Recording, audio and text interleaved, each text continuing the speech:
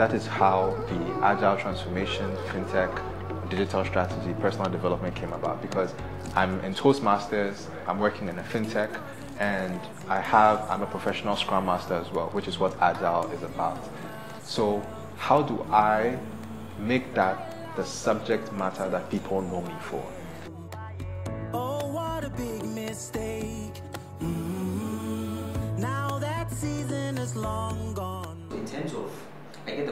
Said, you know, um, you know, uh, putting it out there was first with friends, Mm. right? But you're reaching, you know, a much larger community. Mm, What's how are you advertising to those people? right. Yeah. It's funny because someone asked me the same question yesterday because they felt that I could be doing more. When it comes to YouTube, the way your videos get views and subscribers is very different from the other channels. Hmm. You can boost your video in an ad, mm-hmm. but the truth is, most people don't really view ads. They really want to skip it unless you make it one of those compulsory ads you don't want to bombard people with your information. You really do want the people who are interested to be To there. find you, right? It's not like the other social media platforms where every subscriber is a subscriber. Hmm. If you someone subscribes to your channel but does not watch your video from beginning to end, YouTube's algorithm determines that your content is not quality and does not push it out. Hmm. YouTube controls a lot of the reach that your video gets, and it's a factor of whether people are liking the video, whether people are commenting and engaging with your video, hmm. and how long people are watching the video for. Right. So, in order for YouTube to determine that what you're putting on their platform is quality, mm-hmm. they people they need to see that people are engaging beyond a certain point. They need to see that people are actually commenting and there's engagement in the mm. comments, and then there's sort of a ratio between the views versus the likes. Mm. So if you've gotten let's say 30 views, I think about 5% should convert into likes mm. for them to feel that the video is is worthwhile. Right. If if that is in place, YouTube will push your video out. When it, and that is really the part that is not within your control as much. It's really dependent on how good your content is, mm. how good the editing, mm. the quality is. One thing you should take note of is people will tolerate bad video, but they won't tolerate bad audio. Mm. If people feel like your video quality is not that great, mm-hmm. they'll, and they'll still enjoy a video. But when they can't hear, that's, it's, Just it's just a them no off. no. Right. So it's better to invest in very good audio. I learned that the hard way because in the beginning I had no mics, nothing. Everything was done from my phone. And as much as the video quality was alright, if people feel like it's too echoey, your volume levels are too high, it sometimes comes across as mumbled. Right. You realize that that particular video has very bad stats. So you have to invest in a quality mic, make sure that you're taking, you're cognizant of the way the sound is coming across. On your own, what you can also do in addition is if you have a large following on other platforms, mm-hmm. the Instagrams, the, the Facebook, Facebook, you right. pop you you advertise there as well mm-hmm. because that's also a community of friends that you mm-hmm. have. And what is going to happen is people who are actually interested will, will make the transition. What you should prepare yourself for is there are two different platforms. Right. People are joining you on Instagram and Facebook because this is not a general statement, but I want to see whether Nyatuame is getting along in life well. Are things happening for him or Indeed. not? People use those platforms to keep an eye on you as opposed to trying to learn from you. Mm. So people may not know you as this brand expert or someone with a legal degree. So when they see you post material about that, that's not really what they were interested in. They wanted to see you in your BMW, Right. you in foreign countries to know that you're getting ahead in life. So it's you're only going to get that transition of an audience from people who are genuinely interested in content that you're putting out. Right. So you shouldn't get brokenhearted if you have 20,000 followers, but you only get about 200 coming onto your YouTube channel mm. because YouTube is a very different. If you have a subscriber on YouTube, then the person is genuinely interested in your content. Mm. And there's that the the survey that they took shows that nobody subscribes after one video. A person will watch two, three, four of your videos before they subscribe because when they subscribe, it means that they're going to be seeing your videos in their feed. Right. In order for them to feel that your video is, is worthwhile, hmm. they need to see more than one. Indeed. So it's always good to have. I would always say that if somebody wants to start a YouTube channel, it's a good idea to shoot about four or 5 mm-hmm. and then have four or five on your channel up front so the mm-hmm. person has enough content to judge whether this is something they want or not Right. because you don't want people who are subscribers but are not viewing because it just makes YouTube feel that one, they're either bots, they're not actual people. Hmm. These are bots that are subscribed. Okay. Or you are doing something called sub for sub. Sub for sub is where people go onto these massive platforms like Reddit, Facebook, and they say, I will subscribe to your channel if you subscribe to my channel. Mm. But I'm not interested in your mm, content. if content, you are right. making cooking videos, mm. I'm doing agile and digital. So I'm not interested in cooking. But I want subscribers, so I'll subscribe just for Anyway, subscribers' sake. right. YouTube's algorithm goes against that. It Mm. does not encourage that. So the, the algorithm needs to make sure that the subscribers that you have are actually watching your video and interested in your content Mm. and the engagement is there. So you really have to understand the dynamics of YouTube in order to promote it. Or you can leverage your other media, social media platforms. Facebook has this thing where you can boost a post, Mm-hmm. but it's also limited because no matter how much you boost it, the person has to feel that the content is valuable. Indeed. It's not default that somebody watch your video and subscribe, Mm. or somebody will actually watch your video from beginning to end. And so you can leverage all those other platforms, but essentially it depends on how engaging your content is, whether people find value in it, and consistency. Consistency is very key. Mm. If you're go- the type of person who's going to post and disappear for a month, people will unsubscribe, and that's the worst thing because you're not consistent enough for people to feel that I know that every weekend Jeremy is going to release a video Mm-hmm. and he does one digital video, one agile video, and one personal development. I'm here for the personal development, so I know that on this day I'm getting This is this. getting, So right. consistency is also very key.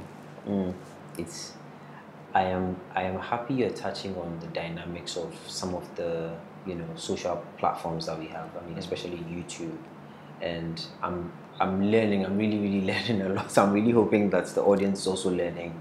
You know the different dynamics that apply to the different platforms that we use. Really really good stuff. Um, so tell us your which which video have you posted as garnered highest views? Which one would you say has garnered the high the, the highest views? I think the highest viewed video right now is a video that is about what is fintech. Right. So fintech explained very simply. I think it's less than 10 minutes. Mm. I think that got the most traction Okay. and it was followed by another video about public speaking with virtual with a virtual reality Okay. audience. Then the third would be working in a bank versus working in a fintech. I Mm. think those three have over a thousand views and they were released just about a month or two ago. Mm. And I've, I've gone through the videos and tried to understand what was engaging about them. And Mm. I, I realized that that's the whole part of the edutainment. I preface a lot of my videos with a story that is relating to the content. So I think the fintech strategy, I started with how Blockbuster went out of business, even though they could have been Netflix. Mm-hmm. Right. Mm. They were actually approached by Netflix to purchase them and eventually essentially laugh them out of the room Mm-hmm. Right. because I'm using a combination of storytelling and imagery, Mm-hmm. people seem to want to hear the end of that story. Mm. And because you set that premise, now when you go into the part of the video that is more of a lecture, Mm-hmm. they have something to benchmark it against. So they understand that, oh, this is how fintech came about. These are the consequences of not innovating, not being agile, not going digital first. These are the these are the this is what could happen. We all see that we used to take rent out DVDs, rent out cassettes, but mm-hmm. it's not it's no longer there. Mm. So Blockbuster could have been Netflix if they had been thinking that way and they didn't. Indeed. I decided that mm. that is going to be my style of delivery. I wanted to use imagery, use storytelling to hook the audience, to let them understand that it's not a lecture, it's relating to a real life incident, and it actually informs you about something that you may not have known. And I think that's the reason why it's gotten as much traction as it mm. has. Quickly, quickly, just briefly as well. Tell us about this aspect of storytelling. Mm. You know, touch touch on it. So for anybody who's looking to, I mean, like I say, starts maybe a YouTube page, for example. Mm. Touch on that aspect of storytelling and how beneficial it is. Yeah. Just simply, briefly. All right. So people underestimate storytelling. Rather, not underestimate, but relegate storytelling to fiction. Mm. People think a story is when you start once upon a time. Mm. However, when I ask you to tell me, narrate an incident that happened, you mm. automatically go into storytelling mode. Right. If you had an incident with your girlfriend and I ask you to tell me about it, you automatically go into storytelling mode. There is an aspect of interaction with people where we are constantly telling stories mm-hmm. that we don't recognize. However, when it comes to putting out information, we, ought- we turn that off. and we just want to state facts. And we don't recognize that your ability to imbibe storytelling is the best way to engage with somebody. When I wanted to illustrate how bad my public speaking used to be, I went to the story that we had together mm-hmm. of campaigning to an audience for the very first First time. time, right. If I asked you what happened to your car and it's in the garage right now, you go on this story of telling me how you got a flat, how the shocks are bad. We don't recognize that storytelling is an everyday part of our of our lives. Mm-hmm. In your interaction with your your spouse, your girlfriend, most of the scenarios that happen that you narrate are in the form of a story Indeed. for some reason, when it comes to education, we, we tend to take those parts out. Mm. So you recognize that some of the best teachers that you've had are the ones who are able to use a lot of examples that you can relate to. Mm. They talk about things that have happened. Those teachers who you talk about in Nkrumah's time, they, they narrate these incidents that have happened rather than just spitting out facts, figures all the time. Mm-hmm. So it's one of those platforms that if you want to keep people engaged, you need to be able to narrate concepts in a way that is relatable. You need to sound engaging, and that is where storytelling has a lot of value. Mm-hmm. So, in, an, in a world where it's estimated that people have an atten- attention span that is 10 seconds or less, mm. if you start a story, automatically it creates this suspense where people want to hear the end of it. They want to hear the conclusion. They want to hear the peaks. They want to hear the lows. Mm-hmm.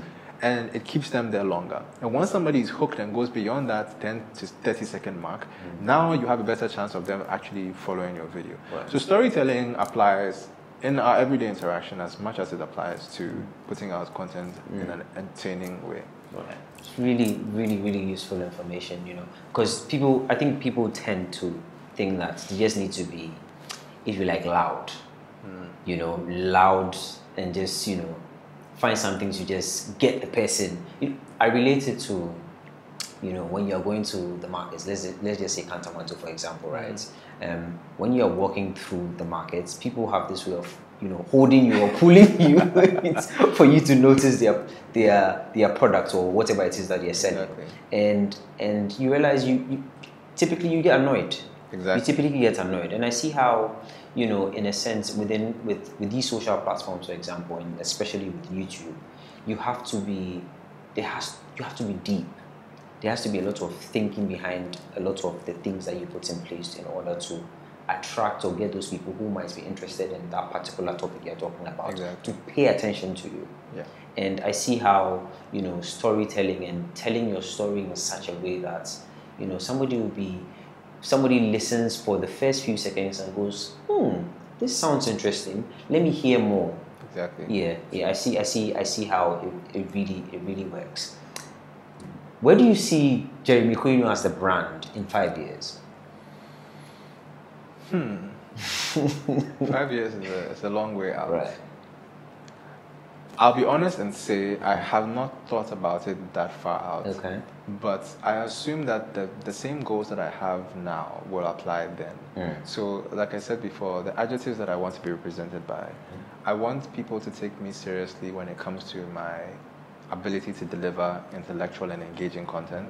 I want people to understand that this may be what you know about me in my informal or, in, or my, my impersonal or my personal life. But when it comes to my area of expertise, this is this is what I'm good at. This is what I bring to the table.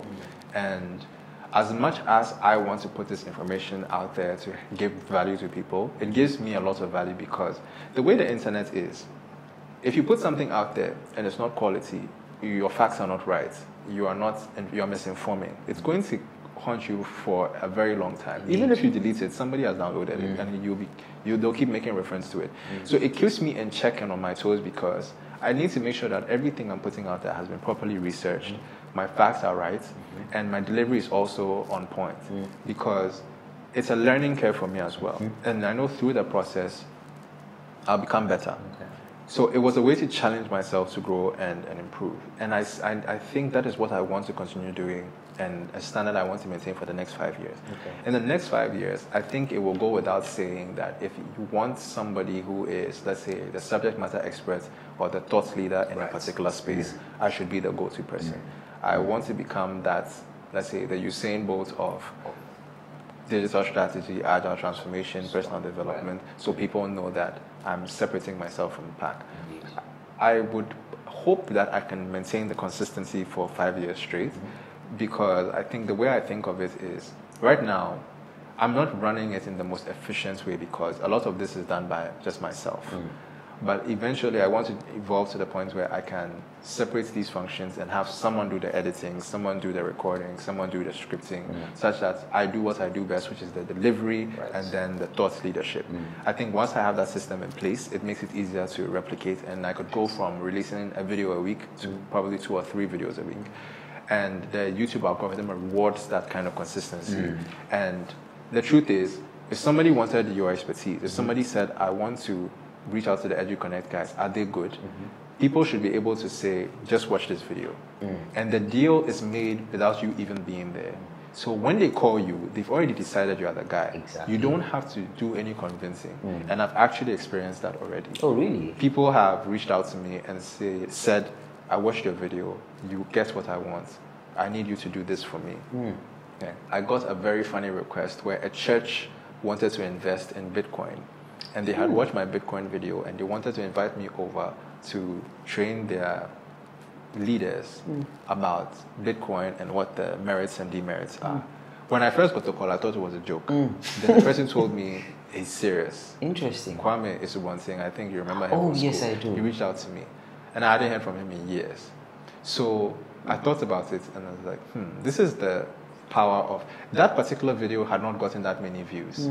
Mm. But I realized that it's less about the quantity and more about the quality. Mm. You only need one client to make you a million dollar contract. Indeed. So even if the video gets 50 views, mm. those people who are watching, those 50 people actually are interested in this. Mm-hmm. It's the same as getting 50 people interested in your product and then mm. you get one big sale. Mm. So you really should not get discouraged if your videos are not getting that many views in the beginning because those who are watching are those that you actually want to watch. It's mm-hmm. not Facebook or social media where the number of likes actually means people like your picture. They don't mm. really like your Indeed. picture. They just like everything on their timeline. Right. But for people to actually watch your video, they mm-hmm. actually must find value. And that is where your, your, your, your breakthrough comes from. Mm. So it's, it's a number of those factors, and I'm hoping that can be replicated for fi- even five years out. Right, right. I mean, what you're saying just reminds me of what um, this really popular marketer says, Seth Godin. I don't know if you've heard of him.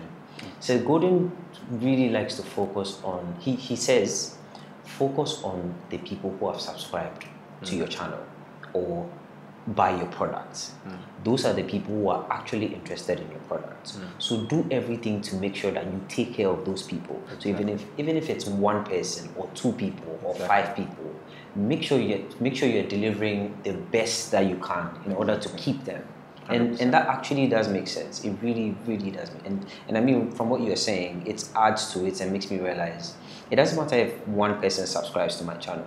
I need to make sure that I'm delivering quality to that one particular person. And before you know, it's going to be two, it's going to be three. Exactly. Really interesting, really good um, points you've laid out there.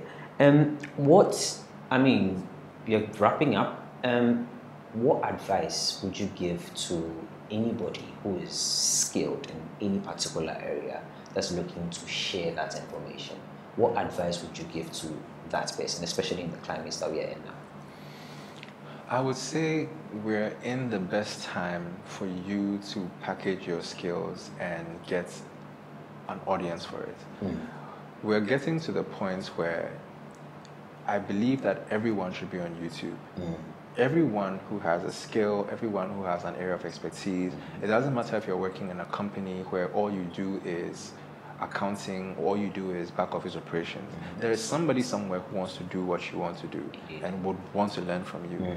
There's going to we're getting to we're in an age where people your audience can be tailored. There's this thing that was said that you only need 1,000 true fans to make a million dollars or something mm. like that. Mm. Because if you have 1,000 people who are truly your fans, that means that whatever you say they will do, Right. they bought into you. Mm-hmm. So if you decide that I'm selling something for just $10, dollars mm-hmm. you have a thousand people buying nothing for $10. dollars mm-hmm. right? You don't need 100,000 subscribers. Indeed. You only need 1,000 true fans. If you have 1,000 true fans, that means they will just do it because Kwame said it. Mm.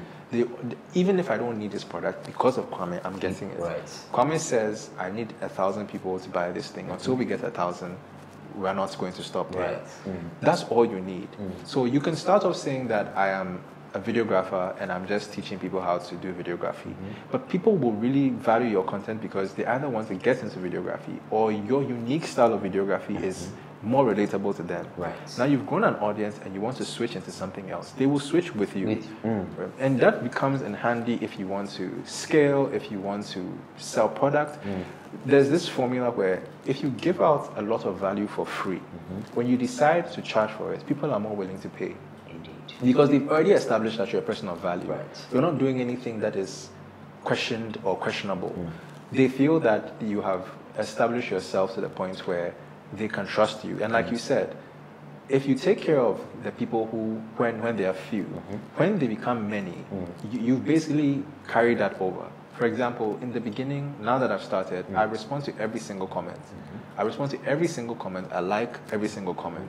There is not a comment on my channel that I will ignore. Mm. Because, like you said, if you take care of them when they're few, these are the people who are going to build that loyalty and they are Mm. going to be your long term audience. And you can essentially get back from the audience because you've been giving them for so long. So, I would tell anyone that just start. Mm. Put yourself out there. Understand that the first couple of videos you're going to be very bad. Mm. In fact, it says the first 50 videos you're going to be very bad. The, the reality is that we're, we're intelligent people, so by the time you get to 10 or 20, you would have significantly improved. If you look at my videos from the first to the 20th, I've, even if it's marginal, there's improvement there. Right. At least, at least I knew how to straighten the camera. Definitely. Definitely. Straighten the camera. Definitely. So I would just tell anyone to just start Mm. and pay attention to your audience, keep them engaged, and try not to cheat the audience. Give them as much value as you can. Right. Invest in what you're doing and constantly try and iterate and improve Mm. because continuous improvement is the name of the game. Mm. I, I, I totally buy into that. I 100% agree. Um, I mean, as a brand, EduConnect as a brand, we are all about learning, learning, learning, and learning some more. And so, um, you know, anybody who has any sort of information, you know, that feels like they need to put it out there, they should. I really believe that they should because there's there are so many people out there looking for information.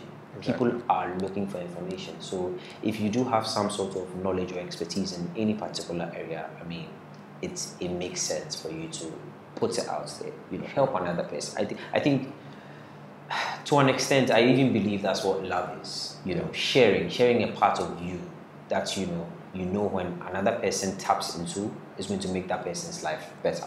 Exactly. Jeremy, I thoroughly, thoroughly enjoyed this conversation we had today. I hope the audience also did as well. Um, I mean, the whole idea is, I mean, the, the, the, one of the big things I got was always look to improve yourself. Improve yourself in every area of your life. That weakness that you think cannot be solved, that weakness that you think, you know, you are stuck with, you can always do something about. There's always information out there for you to improve and make yourself better.